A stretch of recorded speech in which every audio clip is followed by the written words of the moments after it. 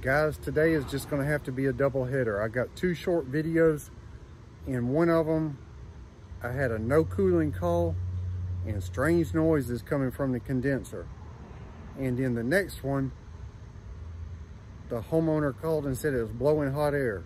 And it really was blowing hot air. It wasn't just condenser wasn't running. Stay tuned, here they come.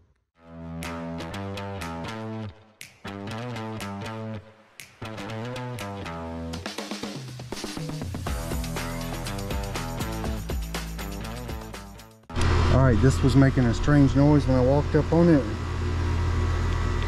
I'm gonna check inrush and pressures and see what's going on.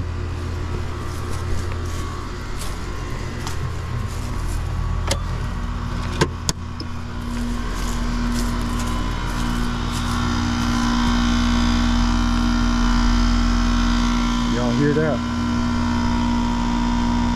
48 amps.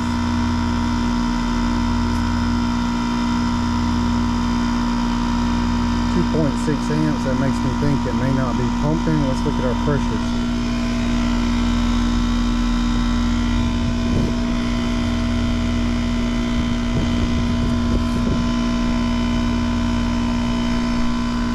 Two twenty-seven and two twenty-seven.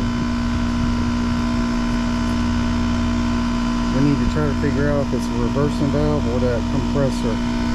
From those noises, I think it's a compressor with no pressure differential. This does nothing. I, I can only tell that the coil is energizing.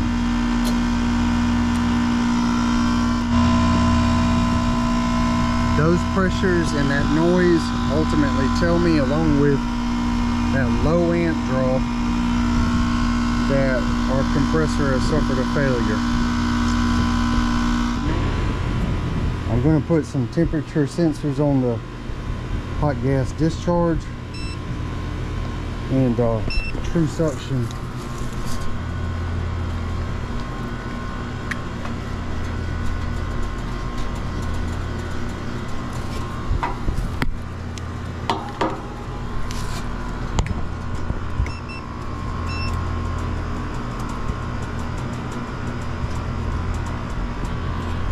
and we're going to fire that back up.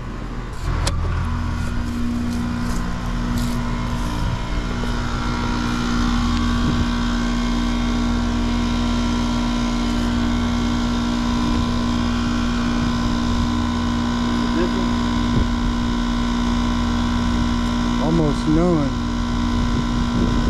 Hot gas is 142 and suction is 127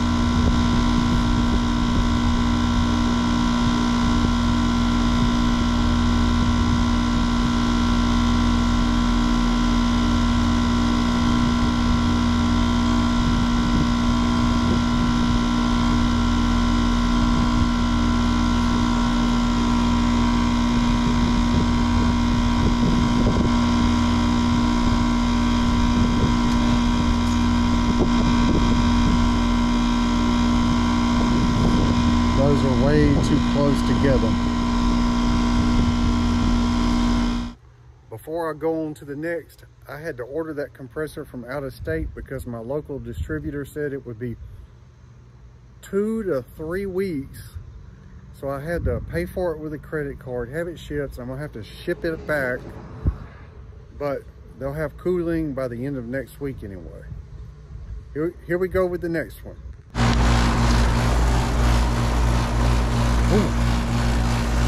This lady said it's blowing hot air, and I see why. That right there is hot.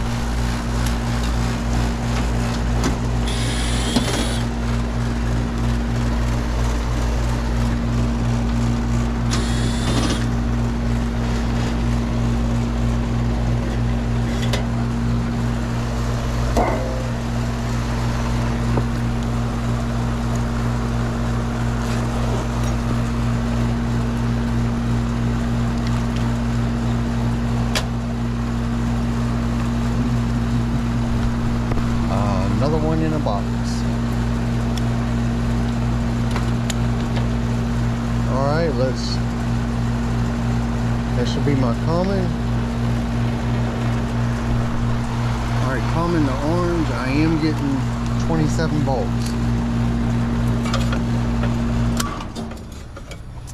So, I tell you what, let's, um,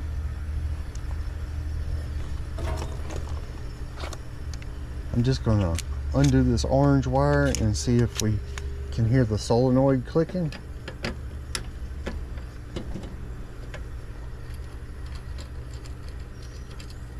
I do not hear it. I'm suspecting it may have come unplugged.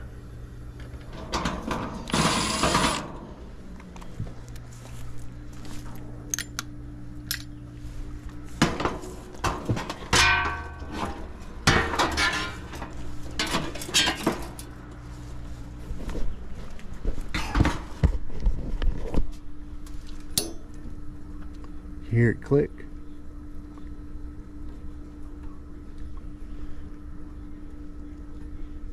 What in the world?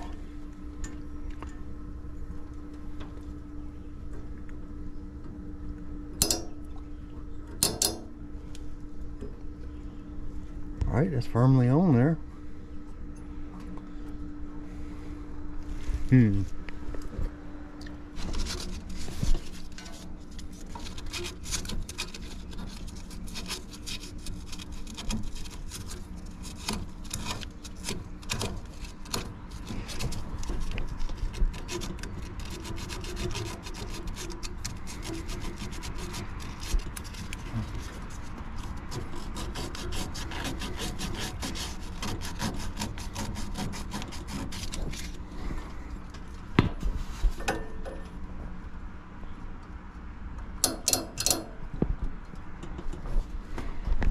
You gotta be real caref careful to line that up and push it in just right. Because if you bend those little capillary tubes you're to cause a leak I uh, I use this hanging strap all the time for capacitors. All right. Got that mounted up there. Let's turn her back on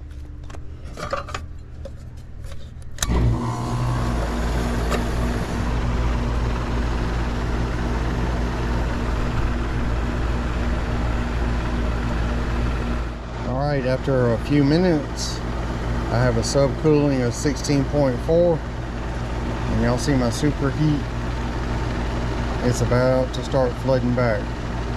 It started out really high, like 30 degrees.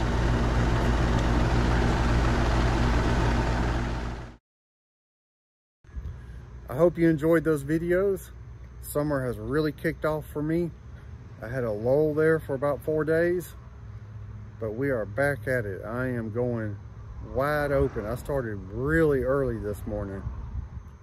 Thanks for watching. I'm gonna catch y'all tomorrow forward.